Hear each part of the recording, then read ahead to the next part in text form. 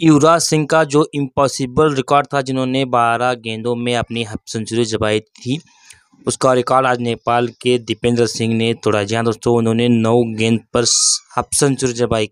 Unbelievable है, हम सोच भी नहीं सकते, क्योंकि जिस तरह से उन्होंने नाइन बॉल पर हाफ़ सेंचुरी जमाई है, ये रिकॉर्ड तो डेफिनेटली कभी टूटेगा ही नहीं, क्योंकि हर गेंद पर छक्का लगाना होता है, तब जाके नाइन बॉल पर हाफ़ सेंचुरी होती है। जी हाँ दोस्तों, इस तरह का अमेजिंग रिकॉर्ड नेपाल के दीपेंद्र सिंह ने बनाया है, जो मंगोलिया के साथ उन्होंने मैच खेला, जो आसियान गेम में खेला जा रहा है। दोस्तों, दीपेंद्र सिंह इस तरह से उनके ऊपर टूट पड़े कि हर बॉल को बाउंड्री के पार भेज रहे थे और नौ बॉल में ही अपना पचासा जड़ा जिसमें आठ छक्के शामिल थे।